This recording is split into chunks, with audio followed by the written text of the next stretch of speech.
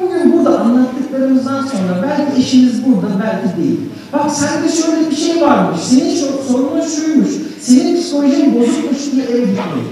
Hep çünkü başkasını suçlamak, senin hatan varmış, sen kendini değiştirmen lazım, senin problemlerin en kolu.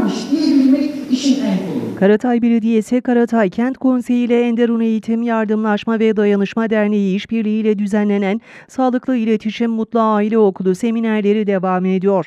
Geçtiğimiz haftalarda yoğun bir katılımla psikoterapist Nazlı Özburun'un evliliğe hazırlık semineriyle başlayan etkinliğin ikinci oturumunda klinik psikolog Beyhan Budak, evlilikte iletişim başlığında pek çok konuda bilgi ve tecrübelerini katılımcılarla paylaştı. Şunu söylemek gerekiyor, bende ne hata var? Ben neyi düzeltebilirim? Eğer eşim neyi düzeltebilir diye yaklaşırsanız bu seminere hiçbir fayda alamazsınız.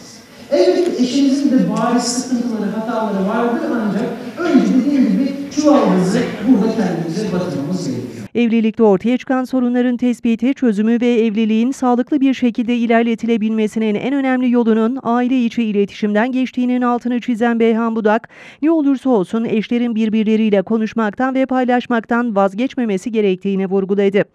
Sağlıklı İletişim Mutlu Aile Okulu kapsamında gerçekleştirilen seminerlerin üçüncüsü 20 Mart Cuma günü saat 19.30'da Doktor Rukiye Karaköse'nin evlilikte sorunlar ve çözüm yolları konusundaki sunumuyla sürecek. Seminerlerin sonuncusu ise 6 Nisan Pazartesi günü Profesör Doktor Saffet Köse'nin İslam'da aile konu başlığında yapılacak.